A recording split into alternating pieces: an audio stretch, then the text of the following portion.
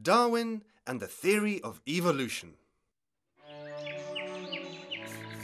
Why are monkeys' feet like their hands? How come spiders know how to spin a web?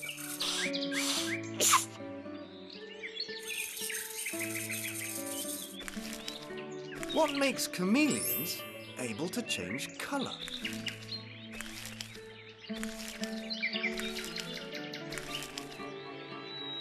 In the 19th century, an Englishman called Charles Darwin was asking himself all these kinds of questions.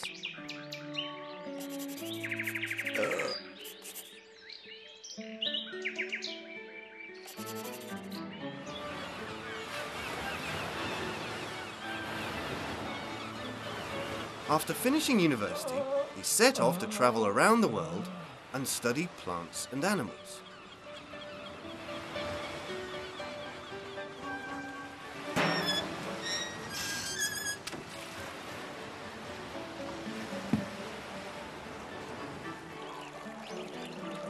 During this time, he visited places that had never been explored before.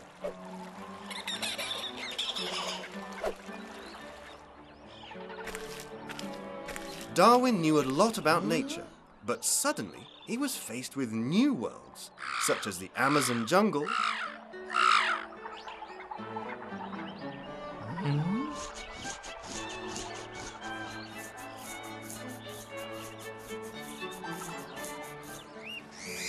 or the islands of the Pacific.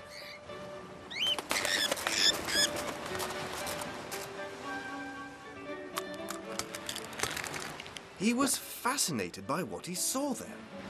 In Europe, living creatures were similar to the new ones he found, but not exactly the same.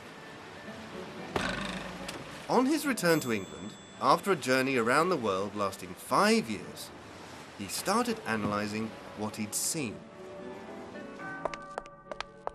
and began to understand something that had always been in front of him, but that no one had yet quite grasped.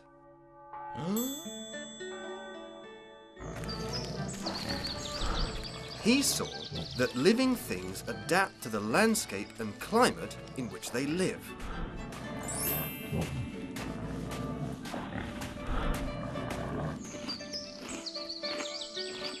All living creatures change bit by bit to fit into their environment and so have a better chance of survival.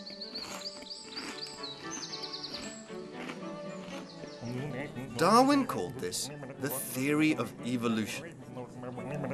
He went on to suppose that all living beings might have a common origin. The first living creature was barely just a tiny cell, which grew and diversified into different forms.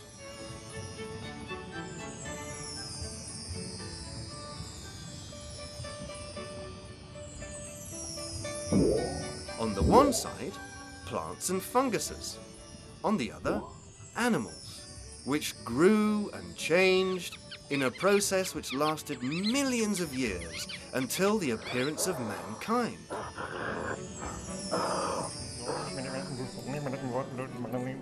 But it was difficult for people to understand Darwin's theories in the 19th century.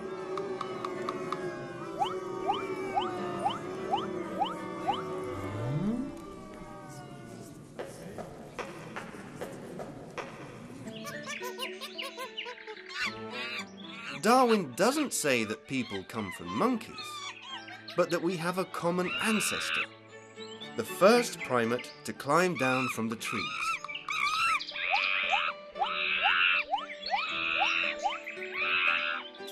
Darwin was a wise man who taught us that all living beings are related and that we're all part of one big family.